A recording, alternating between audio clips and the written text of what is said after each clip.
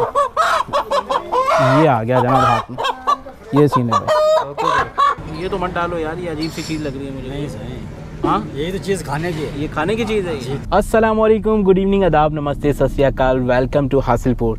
आपने पिछली वीडियो में देखा होगा हम कराची से रहीम यार खान से होते हुए बहावलपुर आए और अब हम पहुँच गए हैं हासिलपुर और ये हासिलपुर कुल मेन शहर है और हम इस चौक पर खड़े हुए हैं। आगे हमने जाना है विहाड़ी एक्चुअली रात का टाइम हो गया और खाने का टाइम हो गया और यहाँ पर जो है ना अजहर भाई ने अभी बताया है मुझे कि कुकड़ कढ़ाई जो है ना बहुत मशहूर है यहाँ पर। एक्चुअली होता ये है कि जो ज़िंदा मुर्गी और मुर्गे होते हैं उनको जो है पिंजरे में से निकाल कर और हाथ के हाथ वो ज़िबा करते हैं और ज़िबा करने के बाद उसकी कढ़ाई बनवा लें। आप जो चाहें वो आप बनवा सकते हैं। तो हम अभी जा रहे हैं कुकर कढ़ाई खाने के लिए। ये मेरी आज तक समझ में नहीं आए इसको लोड कैसे करते हैं यार ये।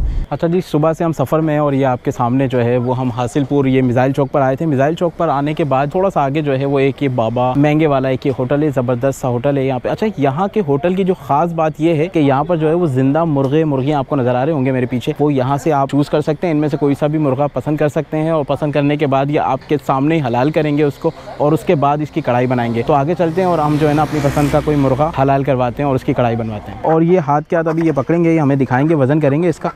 और ये जनाब, देख रहे हैं ये, वज़न करने के बाद जो है ना इसको ये हलाल करेंगे और उसके बाद इसकी कढ़ाई बनानी है। ये आ गया जनाब हाथ में, ये सीन है भाई। ये क्या है, मुर्गा है, मुर्गी है भाई? मुर्गा है ये? ये कितने किलो का है ये? सवा किलो का होगा तकरीबन ये। और अब इसको करते हैं ये हलाल करेंगे ये। अस्सलाम भाई। हेलो। भैया मैं आपसे मुखातिब जी, जी, हूँ। जी। अस्सलाम वालेकुम वालेकुम कैसे हैं भाई? ठीक हैं? खैरियत से हैं? अल्हम्दुलिल्लाह भाई शुक्र अच्छा जी ये कब से काम कर रहे हैं आप? तीस चालीस साल हो गए। अच्छा आपको माशाल्लाह तीस चालीस साल हो गए। जी बहुत पुराना काम है ये। अच्छा जी बहुत पुराना काम आप कर रहे हैं। माशाल्लाह एक्सपर्ट तो मुझे लग रहे हैं ये जिस तरीके से आपने जो है ना वो बहुत जल्दी जो है ना इस मुर्गे को ज़िबा किया है आपने। और बिल्कुल बोटियाँ बनाने के करीबी हैं आप। चल आप खाएँगे बहुत मज़ा आएगा आपको। और साफ़ सुथरा और क्लियर आपके सामने बनाएँगे। खाने के बाद इंशाल्लाह मज़ा आ जाएगा। कितना टाइम लगेगा? आधा घंटा तीस तो पैंतीस मिनट बाद तीस से पैंतीस मिनट में ये रेडी हो जाना है। अच्छा गोश्त गल जाएगा इसका बिल्कुल बिल्कुल 30 से 35 आसानी से। हमारे पास प्रेशर है। अच्छा जनाब एक किलो पचास ग्राम का जो है ना ये बिल्कुल गोश्त तैयार हो गया है। ये अब इसकी बोटियाँ करने जा रहे हैं ये। ये भाई देख सकते हैं आप मुर्गे की रान देखें आप। माशाल्लाह सेहतमंद मुर्गा था ये। अस्सलाम वालेकुम भाई कैसे हैं? ठीक है? ठीक सर जनाब अला अच्छा जी तो ये आपके पास क्या स्पेशल है? आपके पास कढ़ाई बनाएँगे कौरमा बनाएँगे क्या चीज़ है आपके पास स्पेशल कढ़ाई बनाएँगे देसी घी में काली मिर्च में। अच्छा जी देसी घी में कढ़ाई बनाएँगे देसी काली मिर्च का। ये आपके पास स्पेशल है या इसके अलावा भी कुछ बनाते हैं आप? सर इसके अलावा हमारे पास शोरबा होता है देसी मुर्गे का। देसी कढ़ाई जो है ना वो ज़्यादा मशहूर है और वो ज़्यादा टेस्टी है इसकी। तो ये जनाब कढ़ाई बनाएँगे ये देसी घी में काली मिर्चों वाली। ये ज़्यादा टेस्टी है कह रहे हैं अच्छा जी ये गोश्त जो है ना वो हमारा कट गया है। अब ये इसको वॉश कर रहे हैं ये। वॉश करने के बाद जो है ना अब इसको लेकर जाएँगे पकाने के लिए। अच्छा सफ़ाई सुथराई का निज़ाम जो है ना ये बड़ा ज़बरदस्त मुझे लगा। यहाँ पर जो है ना ये साफ़ सुथरा बिल्कुल एक माहौल है।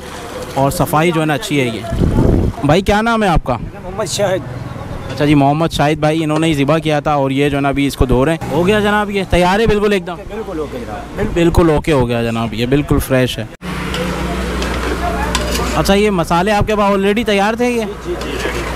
अच्छा बस इसमें जो है ना अब आपने जो है ना मसालों के अंदर वो डाल दिया जो भी आपका था ये ठीक है? अब वो आपकी अपनी रेसिपी है वो डाल दिया उन्होंने ये मसाले में कुकर में। और अब ये बस ये गर्म पानी है ये?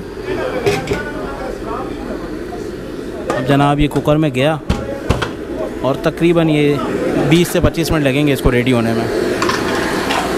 जो रेसिपी थी वो तो उन्होंने मसाले वगैरह जो डाल दिए थे, अभी इन्होंने इसमें जो है ना कुकर में से निकाल के एक अलग पैन में जो है वो निकाल लिया और इसमें मज़ीद जो है वो दही ऐड किया बाकी और जो मसाले हैं वो उन्होंने गुप्त रखे हुए हैं, जो ज़ाहिर सी बात है इनकी पर्सनल रेसिपी है वो तो वो शेयर नहीं की जा सकती।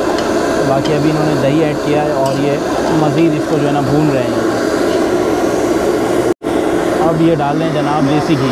ये देसी घी डाल हैं इसमें। और यही शायद स्पेशलिटी है इनकी।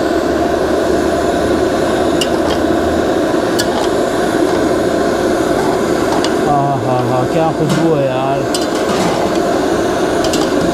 बड़ा ज़बरदस्त था जो है ना वो देखने में भी अब ये और अच्छा लगने लगा है। और खुशबू भी जो है ना इसकी वो बड़ी ज़बरदस्ती आ रही है। ये जनाब ये होटल है। एक्चुअली जो है ना वो ये हाईवे पे आई थिंक तो इस वजह से ये माहौल है इनका। ये ड्राइवर होटल जो है वो लिखा हुआ नज़र आ रहा है मुझे। और ये इर्द गिर्द का इन्वायरमेंट आप देख सकते हैं, ये बिल्कुल। सन्नाटा है यहाँ पर जो है ना वो रात के तकरीबन जो है ना वो साढ़े दस बज रहे हैं, ग्यारह बजे का टाइम है ये। और ये चीज़ आप देख सकते हैं। ये भाई मज़ीद अभी कढ़ाई बनाने में लगे हुए हैं, इसको भून रहे हैं, वो चला रहे हैं। मेरे ख्याल से 10 से 15 मिनट टाइम दरकार है और ये रेडी हो जाएगा। अच्छा जी एक एक बात मुझे और यहाँ पर पता चली है, जो इनके होटल की ख़ास जो है ना, वो खासियत है स्पेशलिटी है ये रोटियों में, कि ये जब ये रोटी बनाते हैं तो उसके ऊपर जो है ना, वो घी लगाते हैं, कुछ देसी घी और अलग स्टाइल है इनका तो आइए दिखाते हैं आपको। अच्छा जनाब, ये रोटी जो है ना, बन गई है, तंदूर में जा रही है। अच्छा जी, भाई बता रहे हैं कि ये बिल्कुल जो है ना प्योर गंदम की रोटी है ये, और इसमें कोई मिलावट नहीं है, ये अपनी गंदम है, उसको पिसवाते हैं वो। ये जनाब तंदूर है और ये रोटियाँ इसमें लग रही हैं। ये भाई रोटी बना रहे हैं। ये लगाया इन्होंने इस पर और ये आ गई रोटी अंदर। अच्छा चार रोटियाँ लगाई हैं इन्होंने अभी तक। जनाब, ये रोटी तैयार है बिल्कुल। ये देख सकते हैं आप रोटी। और ये इस पर जो है ना वो घी लगा रहे हैं ये। अच्छा आम तौर पर जो है ना हम वो ये इस तरह की रोटियाँ नहीं खाते हैं, ज़ाहिर सी बात है। कराची में इसका रिवाज नहीं है। तो ये थोड़ा सा आज हमारे लिए चेंज होने वाला है ये। मैं तो शायद मेरे ख्याल से फ़र्स्ट टाइम देख रहा हूँ। तंदूर की रोटियों में जो है ना वो ये घी घी लगाया जा रहा है। वैसे बचपन में जो है ना वो अम्मी जो है ना हमारी खिलाती थी वो रोटियों पर जो है ना घी लगा के। अब जो है वो हमसे खाया नहीं जाता क्योंकि हेल्दी होता है वो ज़ाहिर सी बात है, वो अपनी थोड़ा सा जो है ना ख्याल भी रखना पड़ता है ना टमी का। जनाब गुड हो गया। ये रेडी है बिल्कुल?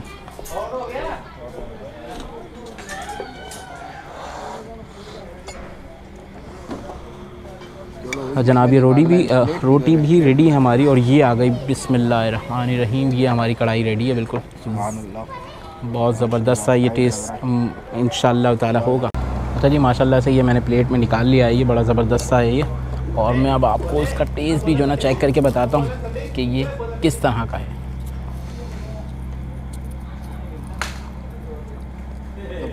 बिस्मिल्लाहिर्रहमानिर्रहीम। क्या नाम है? भावल नगर नाम है ना शायद? यहाँ पे कितना दूर है?